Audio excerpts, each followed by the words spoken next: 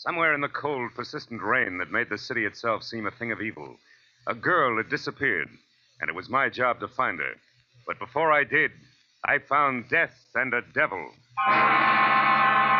From the pen of Raymond Chandler, outstanding author of crime fiction, comes his most famous character as CBS presents The Adventures of Philip Marlowe.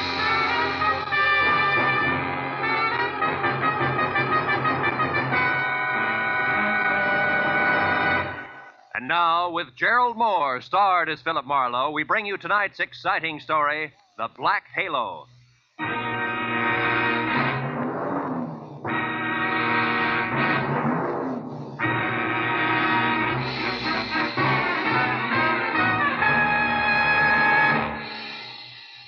For three days, an ugly storm had lashed at the west coast from northern Oregon to the tip of lower California. And although it was only noon when I drove up to the sprawling red brick house just south of Santa Barbara to meet a new client of mine, the black that was in the sky and the driving rain that was everywhere left the day bleak and wet and cold. Left it the kind of day that made you feel that logs blazing in a fireplace and a warm, dry robe were the only things that could matter to anyone. But when I got inside the house, Felix Drum, 350 uncomfortable pounds of executive in a wheelchair, who made his living importing perfumes, was very worried. And not about the weather outside. Marlowe, Julia Perry is gone. I want you to find her and bring her back. And the sooner you do that, the better. And the more I know, Mr. Drum, the easier it'll be. Exactly who is Julia Perry? My assistant. Very capable girl, who in the past six months has practically taken over my entire business. She handles most of the work from her cottage here on the grounds where she lives. Mm-hmm. She also has some little cubbyhole in Los Angeles where she keeps her files and some sample stock. Do you have the address of that cubbyhole? If I knew the answer to everything, I wouldn't have hired you. And anyway, it isn't important. Uh, uh, hand me that little bottle. This there, one? please. Yes. No. Here. Thank you.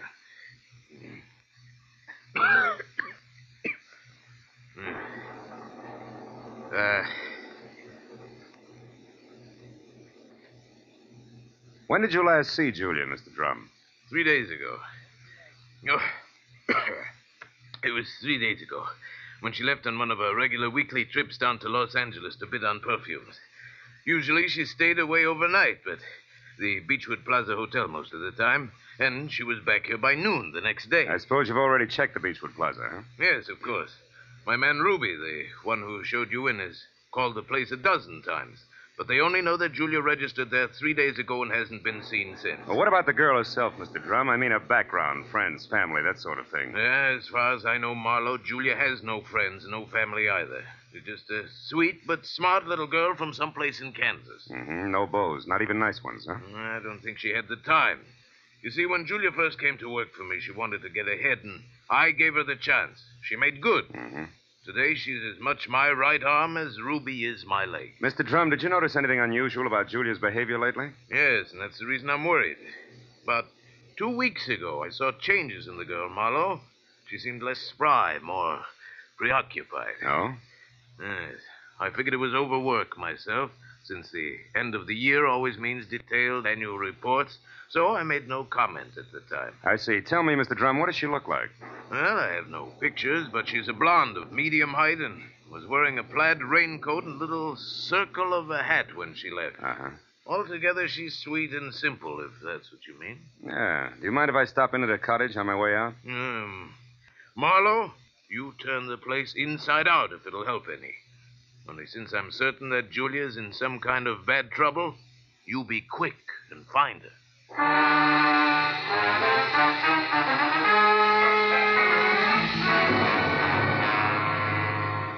Julia Perry's cottage was strictly the 50 50 arrangement that Drum had mentioned, with one room office and the other living quarters. In the office, I found everything in its proper place, so I moved to the other room. The moment I stepped over the threshold, the white fluff that trimmed the quilted bedspread and the splash of color in the drapes said that Julia Perry had to be something soft and warm. And the half a dozen quietly tailored suits that were lined up in the closet like, like a squad of soldiers facing right told me that she was also simple and neat. I ran through the pockets of her clothes and all the drawers and closets in the room, trying to find something that would give me a lead that I was sure I had to have. After 20 minutes, I'd found only a leather cigarette case, a package of peppermint lifesavers, and a maroon and gold monogram book of matches, the cover of which was half torn off so that I could only be certain that the middle initial was a V and that an E or an F were on either end. But since the name and address of an L.A. novelty company was on the inside, I bought the matches as a starting point, dropped them into my pocket, and headed for the door. When I opened it, I was surprised to find Ruby, Drum's right hand man, purple scar and all, standing in the rain, and staring at me like my ears were spinning. You seem to be a very thorough man, Mr. Private Detective. And you seem to be a very nosy one. What do you want? To help Julia, nothing else. Here's a postcard that came for her this morning. It was mailed in L.A. yesterday. Yeah? Dear Julia, tried to reach you at Santa Barbara 1181 both yesterday and today, but got no answer. Am, am leaving. I'm leaving town tomorrow. As one little girl who fled life in Haven, Kansas to another, I would have enjoyed seeing you again. For a bit before I moved on to who knows where. Anne. Hmm. Santa Barbara 1181. That the number here? Yeah. It's Julia's private business phone. Well, what do you think? The postcard any help? Possibly. Tell me, Ruby, why didn't you show this to Mr. Drum? I forgot about it until just now. You're a liar.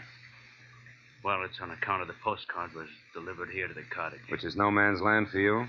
Yeah, sort of. Mr. Drum doesn't like people who work for him mixing socially with each other. Well, maybe a sweet kid like Julia hasn't got any use for the passes you've been making at her, huh? Hold it. I like Julia, and even if she don't go for me, anything I can do to help her, I still do, understand? Yeah, I understand. I'm not so sure I believe. Goodbye, Ruby.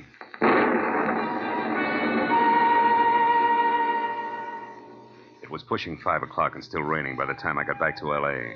and over to the novelty company. Once there, I presented the torn book of matches that I had found in Julia's cottage to a bald man with horizontal question marks for eyebrows, and who, at the crinkle of a $5 bill, tore himself away from his racing form long enough to check the files for a set of maroon and gold initials that had a V in the middle. And it was six o'clock before I had the answer, which was EVE. And they weren't initials, but the front name of Mrs. Eve Bentley, who lived in a villa at the Swank Sunset Terrace Apartments. And according to the gentleman who said he knew his oats, was a very classy filly. An hour later, I was at Mrs. Bentley's front door, and while I made with the chimes and waited, I wondered just how much a guy who loves the ponies could know about women. But when the door opened, I had my answer. Yes? What is it? Mrs. Eve Bentley wasn't beautiful, but she was everything else, including a shimmering yard of gold hair piled high on her head and held in place by a knot of pearls that no Boy Scout ever tied. Her face was wide blue eyes and open red lips on a backdrop of soft, fair skin.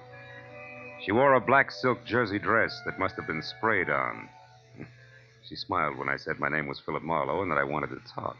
Talk about what, Mr. Marlowe? Julia Perry, ever hear of her? No, I haven't.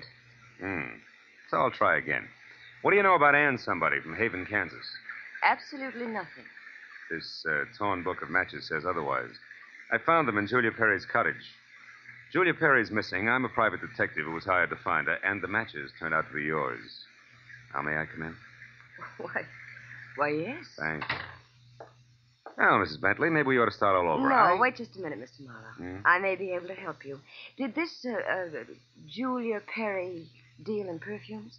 That's right. Now, how did you know that? Because I just remembered something. And now I'm sure I can explain why my matches showed up where Just they a did. minute, just a minute. You know, whenever I'm talking to a beautiful woman, somebody's always creeping around in the kitchen. Who is it this time? Oh, really, Mr. Marlowe? There's a storm outside, and there are windows and trees. If you put those three things together, that noise could have been a branch scratching on a glass pane. Or somebody with squeaky shoes and a lot of curiosity. Somebody like Mr. Bentley, for instance. Huh? Oh, I doubt that, Mr. Marlowe. You see, Mr. Bentley's been dead now for three long years. Oh. Yes. Well, you were saying something about the matches. Oh, yes. This uh, uh, Julia Perry must somehow or other gotten hold of him through my fiance, Marvin Whitaker. How does that figure? Like two and two. Marvin is in the perfume business, ditto Julia. Also, I think he mentioned her name once. Said she was very clever for a girl who looked like somebody's kid sister. That fits all right. Where will I find said fiancée? At his favorite bar and grill. But won't you have a drink first, Mr. Marlowe? No, thanks, Eve. There. There isn't time. now the bar and grill. The Blue Boar. Blue which? Boar, Mr. Marlowe. Yeah. It's a very English spot over on Wilshire, opposite Arthur Murray's studio. But uh, before you dash, do you at least have a match? Yeah? Whole book of 'em, honey. Torn cover and all. And I want you to keep them. After all, they brought us together, didn't they?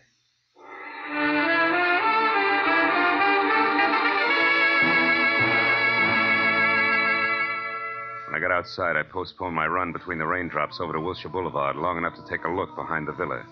And there, in a newly planted strip of clover lawn below Mrs. Bentley's kitchen window, I found something which was no surprise two clear prints of a man's shoe. But from there on out, I got nothing more than a lot of rain down the back of my neck. So ten minutes later, I dripped into my car and headed for the Blue Boar and Eve Bentley's gentleman friend.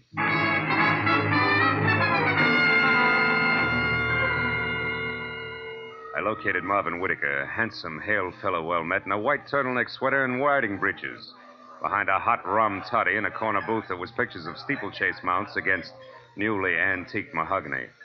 And when I told him that I was looking for Julia Perry, he flashed a lot of glistening teeth at me, insisted that I join him in a warming glass of spirits, and started to talk, gesturing all the time with a riding crop. Why, yes, old man, I know Julia Perry. In fact, almost did some business with her today. You mean you were supposed to meet Julia someplace? That's right. At 1881 Selma Avenue, to be precise. But she called me this morning and postponed the whole transaction indefinitely. Could you stop projecting long enough to tell me why? She didn't say. Of course, it's of no bother to me on a day like this. No sane man should be any farther away from a toddy than we are right now. So drink up, old boy. It'll do you a world of good. Yeah, yeah, I bet it will. Look, Mr. Whitaker, one more question. Did Julia ever speak of a girlfriend named Anne? Someone she knew years ago in Kansas? No, I don't believe she did, Marlowe. Matter of fact, Julia never talked of anything but perfumes. Now drink your drink, fellow, before it's chilled through. Thanks, but no thanks, old bean. I do have to run, really. It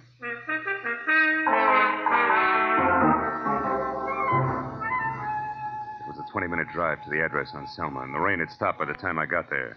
The place was one of those once upon a time rooming houses that had been partitioned off into a couple of dozen two by four cubby holes, just big enough for the very small businessman to fill his fountain pen in.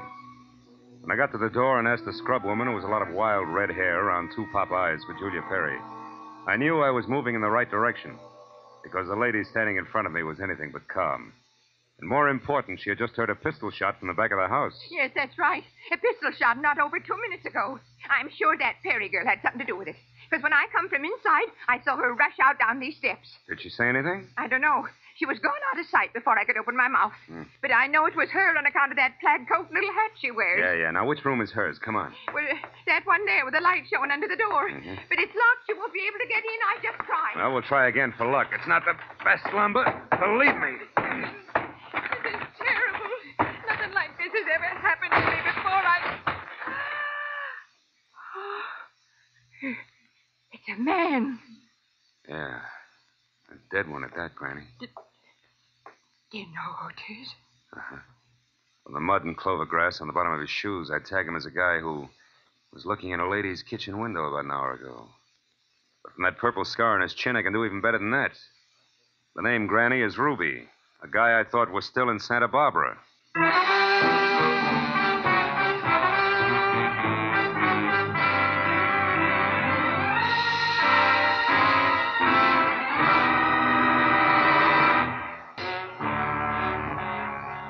Body sprawled on the floor, and the girl in the plaid raincoat running away from it meant one thing. Julia Perry's trouble was important, like life, but more like death. A half sneer was congealed on Ruby's face, and his eyes, turned waxy, still held a look of mild surprise. I wasted some breath telling the scrub woman not to touch anything, and then I put in a call to my overweight client in Santa Barbara. He was glad to hear from me, at first. Marlowe. Well, now, I didn't expect a call from you this soon. You sure work fast, don't you, lad? Have you found her? Have you located Julia? Not quite. She's about five minutes ahead of me. Incidentally, Mr. Drum, she works fast, too. What do you mean by that? Let me ask the questions, huh? Number one, what was your leg man Ruby doing in L.A. tonight? Uh, Ruby? Yeah. Why, I, I sent him in to pick up some medicine for me. Why? Come on, Drum. You can talk straighter than that, and you better. I just found Ruby dead. Dead? Ruby's dead? Uh, what happened to him, Marlowe? He was shot. So forget the gags and tell me why you were snooping around. All right. I didn't trust you. No. It's my policy to trust nobody until he proves himself. I sent Ruby in to follow you and check on your progress. That was brilliant. You only made three mistakes. First, I don't need to be checked on. Second, you got your man killed. And third, you forced Julia's hand. Because it was Miss Perry herself who pulled the trigger on Ruby. Julia? I. Marlowe, I don't believe that. Which proves nothing, Mr. Drum, but skip it. Tell me, do you know a man named Marvin Whitaker? Whitaker? Yeah. No, should I? Well, he says he's in the perfume business. Well, I know everybody on the coast who bought more than two bottles of perfume at one time in the last 40 years, and I don't recall that name. I, I think the man must be a liar. So do I. Thanks for the help. And, Drum, if you've got any more expendable flunkies around, keep 'em out of my hair. I'll call you when I've got something.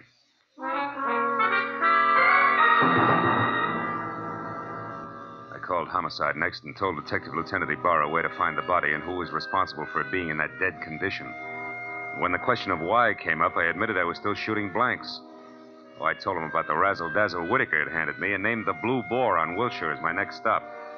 Ibarra said he'd call me there, and when I got to the entrance of the place, I saw Whitaker, draped in a trench coat that involved enough cloth to rig a four masted schooner, standing in the anteroom, impatiently smacking his leg with that riding crop.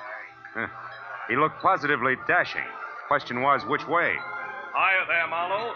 Hey, old boy, you look upset. Anything wrong? I may be upset, Whitaker, but you're the one that's going to spill. First, are you leaving or coming back? I'm just leaving. Been here all the time since I talked to you? That's right, you see. My coat is perfectly dry. Stopped raining half an hour ago. well, well, you see, if I'd been outside, I would have known that. But why this third degree, Marlowe? What's up? It's a long story. Maybe we better sit down and talk it all over from the beginning. Oh, I'm afraid I can't. Not just now. I, uh, I've got a date. She'll keep. Uh, not this one. It's something, um, something rather special. Special, huh? Like Eve Bentley? Now look here, old boy. You're prying into my personal affairs. Whitaker, I'll rip the lid clear off your personal affairs if necessary to get a clean answer out of you. Now, what do you really know about Julia Perry? I told you once. Are you implying that I'm a liar? At least that. For instance, who puts out Emir? Come on, Whitaker. It's a well-known fragrance. Why, uh, I, uh, I don't recall offhand. That's strange, because any woman knows Emir's a Dana perfume. Just what are you trying to prove by all this? That it's a perfume dealer, you stink. And try this for size. When I got to that address you gave me, I found a fresh corpse there with a bullet hole in it. A murder? Yeah, and your routine was pat, brother, so before homicide starts combing out the snags in your story, you better untangle it yourself right now. You lied to me. Now, why'd you do it, Whitaker? Why the double tower? All right, Marlowe, I'll tell you. I'll tell you this! Oh! He was as quick as a wounded cat. The riding crop slashed across my face even before I'd realized he'd moved. And by the time the red light stopped dancing in my eyes, Marvin Whitaker was gone. I turned as the head waiter walked up to me. He studied the hot red welt rising on my face for a moment and then murmured discreetly that if my name was Marlowe, I was wanted on the phone. It was Lieutenant Ibarra. Marlowe, you can stop beating the brush for Julia Perry. We found her. You did? Where is she, Ibarra? She's out in the alley here, behind the Beechwood Plaza Hotel, Marlowe. Exactly eight floors down from the window of her room. She fell through the glass roof above the rear entrance. Oh. It's not pretty. Oh. She explained the whole thing, including that Ruby guy's murder, in a note we found in her room. I'll I'll be right over, Ibarra. Okay, don't hurry.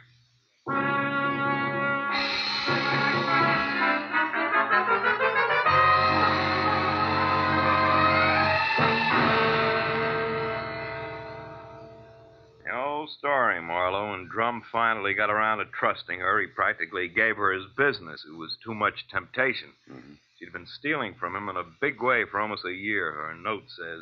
And she decided to run for it when she knew she couldn't hide the thefts any longer, huh? That's right. That Ruby caught on some way, and she killed him, but I guess murder was too rich for her blood, so she came back here, thought it over, and then checked out. Yeah. All she left behind was a little plaid raincoat and a purse over there. Hey, she was wearing a dinky hat, too, Ibarra. Did you find that? Mm-hmm. Come over here to the window, Phil. See down there on that canopy, that little black circle? That's her hat. I sent Mooney down to get it. Can't leave any loose ends around, you know. Yeah. That light, Lieutenant? Oh, sure. Here you are. Thanks. Hey, what happened to you? That welt on your face, Phil. Oh, I backed that horsey liar named Whitaker into a corner, and he slapped his way out with a riding crop. And speaking of loose ends, if I ever catch up with that. Hmm? Ibarra, where did that stuff on the dresser come from? Well, this out of the pockets of Julia's plaid coat. Why? But that's impossible unless. Holy smoke. That's why Whitaker lied to me. Hey, where are you going with that, Phil? Come back here. I gotta check on something, Ibarra, and keep your notebook handy. If I'm right, this deal is still wide open.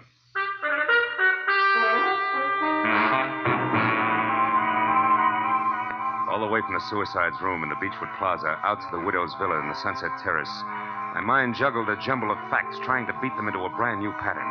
A pattern that had to include an object Ibarra had found in the pocket of that plaid raincoat. It almost made sense, but I needed just a little more. Well, when I turned into the parking lot at the Sunset Terrace, rain began to fall again. Thin, cold rain. I walked to Eve Bentley's door and pressed the bell. Just as I expected, it was Marvin Whitaker, unsmiling and nervous, who answered the door. I didn't give him a chance to think. I just swung hard. Okay, horseman, that squares us up. Come on, Heavy, roll over. Let's see if you're carrying a gun. Okay, no gun. Now, be a good boy, Whitaker, and you'll make out all right, but one funny wiggle out of you and I'll crack your skull. It's a promise. Do you hear me? Yeah. Yeah, I heard you. All right. Now, where's Eve? Is she here? Uh, find out for yourself, Marlowe. I'm through. Fair enough. But just so I'm not talking through my hat, I'll take a look in her closet first. She won't be in there, I guarantee. No, but her future might be. Well, let's see. It's got to be in here someplace. Oh, yeah, yeah, yeah. This is probably it. Brown cloth coat, as chic as a pair of hobnailed boots, and still damp. And the label says the BH Company, Haven, Kansas. That does it. I've got it all now, and my chivalry just died. Where is she, Whitaker? Where's Eve? Right here, Marlowe. Uh oh, don't try that. I guess you really do have it figured out, haven't you? Yes, Eve, I have. Sorry it turned out this way because you had your points as Eve and as Julia. Don't put it in the past tense, Marlowe. As Eve Bentley, my life is just beginning, and now I've got everything I ever wanted as Julia Perry. Then you're Julia Perry. I was, Marvin. She still is Whitaker. At least that's what the bailiff will call it in court. There won't be any court, Marlowe. Oh, I'm afraid there will, baby. You're twice a killer now, and both for the same reason, remember? First Ruby, because he saw you as Eve. And the girl you pushed out of the hotel window, who was no doubt Anne, your old chum from the hometown. She must have seen you posing as Eve, too. All right, Marlowe. Anne ran into me by accident and ruined everything. I had no choice. I promised her money and then told her to go to my room at the Beechwood Plaza and wait for me. Eve, I, can't believe this. It can't be true. Yes, Marvin, it is true. Darling, I didn't want this mess. I'd have left town this morning as I intended if sweet, sly little Anne hadn't seen me. I tried to get rid of you the easy way, Marlowe. When I sent you to Marvin, the Selma Street address he gave you should have led you to the end of Julia Perry. Is that why you phoned me and told me to lie to Marlowe? Yes, Marvin. I was going there to write my suicide note and use the stockroom for my disappearing act. But Ruby caught me, and after that, I had to work fast. But it's all right now. It all worked out perfectly. They were the only two who knew besides you, Marlowe.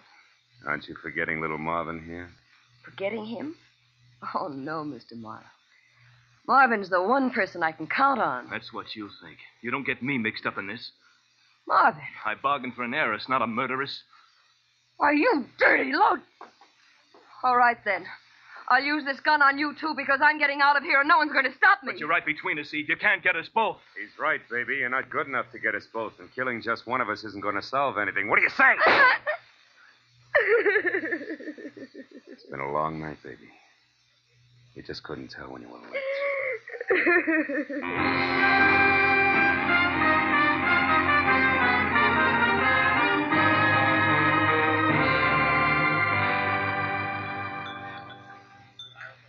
want any more of this coffee, Marlowe? No, it's sludge, Lieutenant. I wonder what Julia Perry uses for a heart. You know, she planned the thing for six months when she first set herself up as Eve Bentley. Mm. And it probably would have Want to check now? Oh, oh, yes. Yeah. probably would have worked if everything hadn't closed in on her. Yeah, her friend Ann from Kansas, Ruby the leg man. And you with that torn book of matches. Incidentally, that was pretty fast figuring up in the hotel room there, Marlowe. Oh, not so fast, Ibarra. I knew Eve had those matches because I left them with her. So when you found the same matches in the pocket of Julia's plaid coat, it figured. Julia almost had to be Eve. And that left Anne to furnish the body for the suicide. Yeah. You know, I wasn't so sure about that until I found the brown coat with the Haven, Kansas label in Eve's apartment. Yeah. Well, I'd better wait on back to the office, Phil. Look at that rain come down. Think it'll ever stop? I don't know. I doubt it. Oh, by the way, uh, here, it's her hat. Mooney finally got it down off that hotel canopy. Maybe you'd like it for a souvenir. Yeah. The millinery people call it a halo hat. Good night, Marlowe.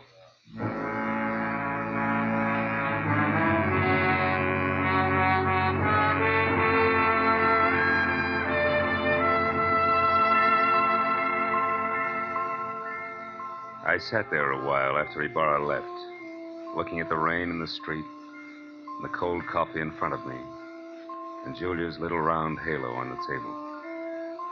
And finally, I got up and went outside. Dirty water scudded along the gutter and gurgled thickly into the sewer drain at the corner. For a minute, I caught a glimpse again of the girl I'd figured Julia Perry to be when I went through her cottage in Santa Barbara. Yeah, that girl was an angel. When I finally caught up with her, her halo turned out to be black, jet black, inside and out. I dropped the little hat into the gutter and watched it go as far as the drain at the corner. And then I went home.